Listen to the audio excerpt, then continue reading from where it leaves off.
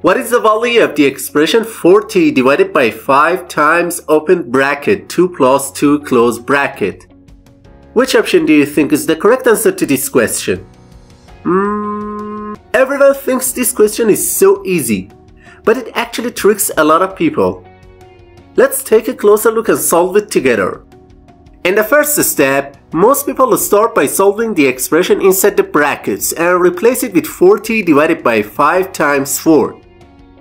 In the next step, they go for the multiplication between 5 and 4 because they think multiplication has priority over division. So, this expression simplifies to 40 divided by 20, which finally gives them the answer 2. And immediately, they say that option A is the correct answer to this question. But it's completely wrong. Now let me explain step by step how we should solve this question. As you can see on the screen, in this expression we have a division sign followed by a multiplication and then a bracket. To solve this expression, we need to use the BODMAS rule. In this rule, B stands for bracket, O stands for order, D stands for division, M stands for multiplication, A stands for addition, and S stands for subtraction.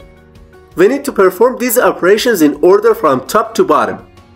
Alright, we'll start with the bracket first because it has the highest priority than the other operations.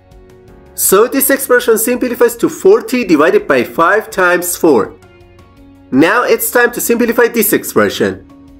It's very important to note that in the BODMAS rule, multiplication and division have exactly the same level of priority. In this case, all we need to do is to start from the left side of the expression and move step by step toward the right. So, first we perform the division between 40 and 5, which simplifies the expression to 8 multiplied by 4.